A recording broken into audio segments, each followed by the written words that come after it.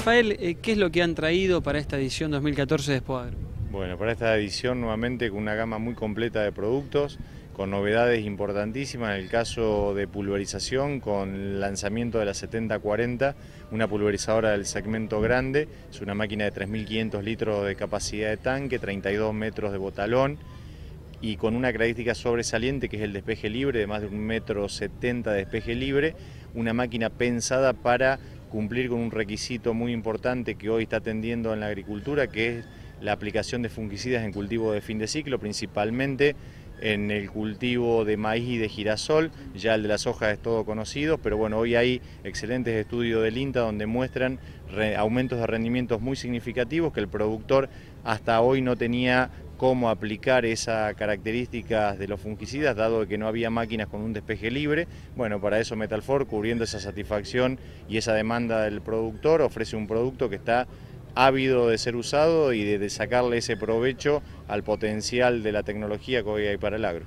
Hablaba reciente satisfacción, me imagino que estará dentro de los aspectos a destacar la fabricación nacional de varios de los productos de ustedes. Bueno, nuestro producto nosotros somos industria nacional con más de 40 años en el mercado, 100% de la fabricación es nacional y bueno, por eso decimos todo que el compre nacional ganamos todo porque es la consigna de nuestra empresa. Creo que el producto nacional es el único que le brinda al usuario en la Argentina de poder seguir creciendo, de seguir proyectando y de proyectarnos como país que tanta falta nos hace. Así que en esa línea muy contentos porque seguimos presentando lanzamientos. En la línea de fertilización tenemos tres modelos de máquinas de fertilizadoras nuevas, una gama que va de 4.000 a 8.000 litros, pasando por la Vedet que es una fertilizadora autopropulsada, la 7050 que es una máquina como hablábamos antes de características idénticas a la pulverizadora, pero la diferencia es que tiene un sistema de abonador de sólidos al voleo a través de cintas que dan una uniformidad y una calidad de distribución excelente, que es lo que busca el, el productor al momento de distribuir y esparcir fertilizante, valores de costo altos que necesita tener eficiencia y calidad de aplicación. Eh, imagino también dentro de esta gama de productos que se ofrecen, que son de industria nacional, una buena alianza con eh, la banca oficial para ofrecer, por ejemplo, tasas o maneras de compra que son interesantes para el productor. ¿Eso se valora desde el punto de vista productivo? Creo que es eh, lo más adecuado que hoy podemos tener es el apoyo del Banco Nación, que siempre lo ha hecho en los últimos años, con tasas subsidiadas,